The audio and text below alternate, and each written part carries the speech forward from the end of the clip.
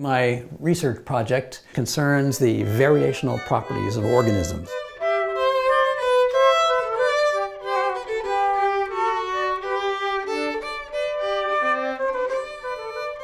Okay, so two principal variational properties of organisms. The first one is the evolvability.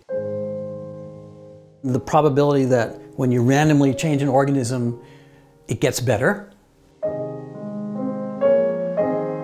Number two, mutational robustness, which is if you randomly uh, screw up the genes, what's the chance that it doesn't hurt the organism at all?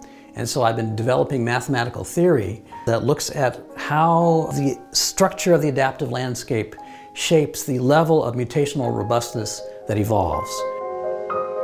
The Konrad Lorenz Institute, it's a little piece of turf that has been devoted to this culture of biological theory. And you don't have to explain yourself and justify yourself every time you walk in the door.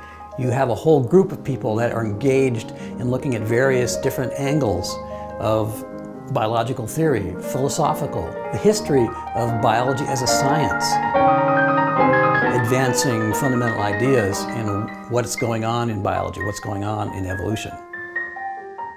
I'm Lee Altenberg. I'm a senior fellow here at the KLI. And I also apply mathematical models to better understand how the evolution of the pelvis actually happens. So I'm modeling the selection pressures in the evolution of modern humans. Autocatalytic sets are a formalization of that notion and they are also believed to have played an important role in the origin of life.